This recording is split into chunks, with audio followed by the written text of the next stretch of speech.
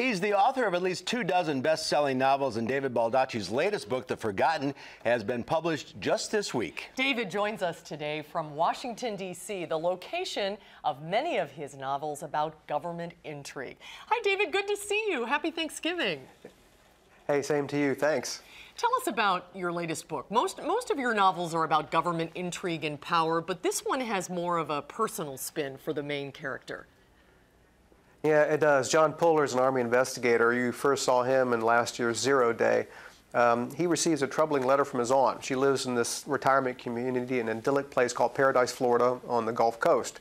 And she's troubled by something that's happening there. So he flies down to meet with her to see what's wrong. And unfortunately, when he gets there, she's dead. The police say it's an accident. He investigates. He thinks it's more than an accident.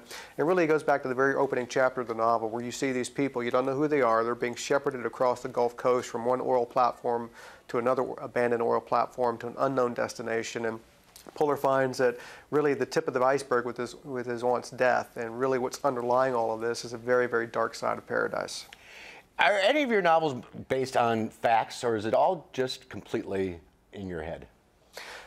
Well, you know, I try to build my world of fiction on a foundation of fact. So a lot of the things that you'll read about in the, in the novel, the, the abandoned oil platform, that's all fact. Some of the particulars of the Gulf Coast, that's all fact.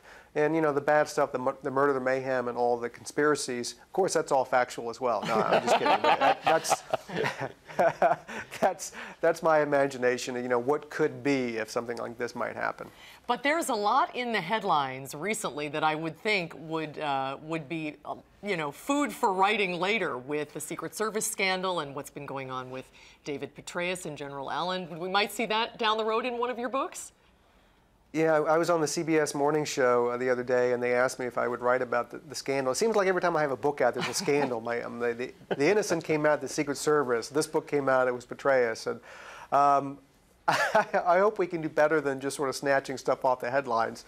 Um, but yeah, there's every time I wake up and I go to my office in Virginia, I look across the Potomac River to D.C. It's like ideas just pop out of nowhere. It's just amazing. The place, you know, it's a place that's full of high stakes, a lot of powerful people the rest of the country and the world know it's very influential and has a big impact on their lives. I think that alone makes it a place that people pay attention to. And it seems like there's more and more interest in that sort of thing with Homeland, the, the Showtime series. People like this, this kind of story.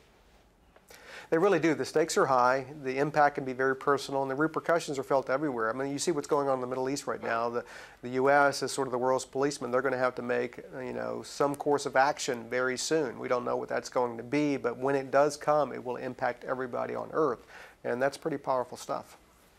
That's something you can't make up. no, you can't. David, thanks for being with us today. Good luck with the new book, The Forgotten, and again, happy Thanksgiving to you. Same to you. Thank you very much.